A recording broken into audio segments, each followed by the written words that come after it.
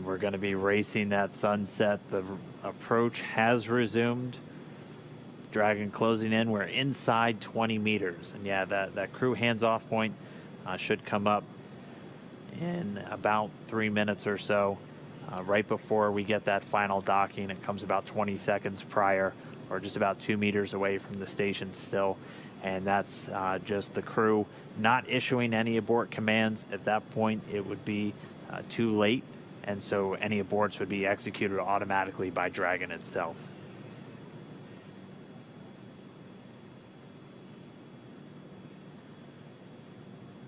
So we're closing in at less than a tenth of a meter per second at this point. You can see the, the service section Draco is just doing all these very small, minor attitude corrections. Really, the, the autonomous docking system at work, making sure that the, the uh, vestibule and the soft capture system is lined up with IDA2. It's the international docking adapter.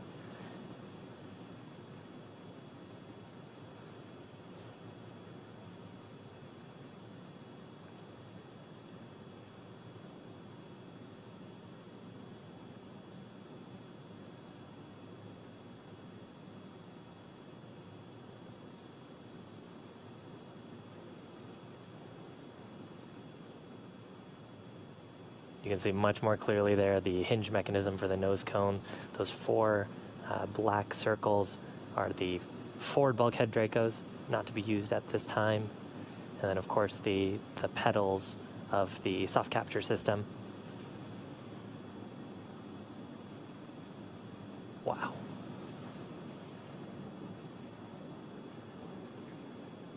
Dragon on the big loop. We're inside 10 meters. We cannot make out the target, docking target, but we do see the outline. We copy and concur, 10 meters. Right, we're less than 10 meters away. Again, we're closing at that rate of less than a tenth of a meter per second. We should be just about 1 minute 45 seconds away from docking.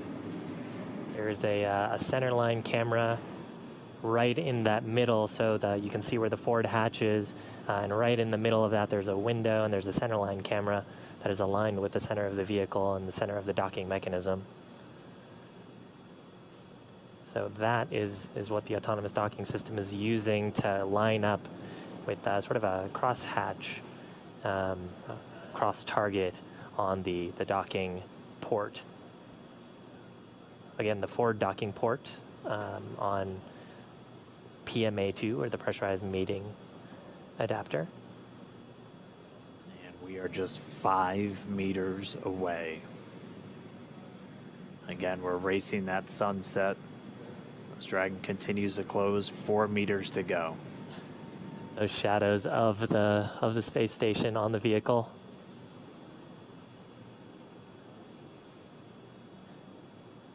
Yeah, you can actually see the uh, centerline camera pretty clearly there um, sort of with the contrast of the, the sun right now.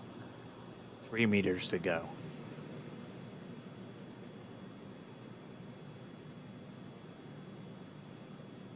Two meters.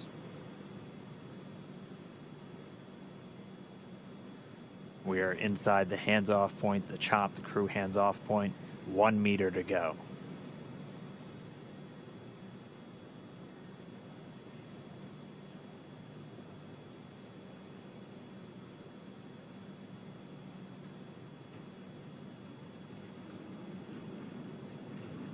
Soft capture complete.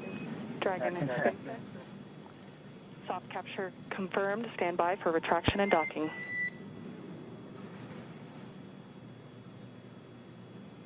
Ninety-five. And we just heard it, soft capture. We have docking, that coming at 7.16 a.m. Pacific time with the station and Dragon flying 262 statute miles right over the border between northern China and Mongolia. You saw a little bit of motion there uh, of Dragon. That was that relative motion that the soft capture system is damping out.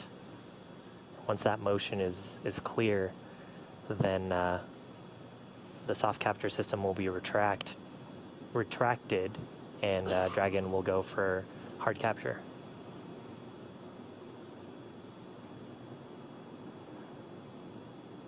Again, if just now tuning in, That soft capture, that docking coming 7:16 a.m. Pacific, 10:16 a.m. over on the East Coast. Dragon and the International Space Station were flying 262 statute miles right over the border between northern China and Mongolia. So that soft capture ring now going to retract. It's one more step on the way to docking complete.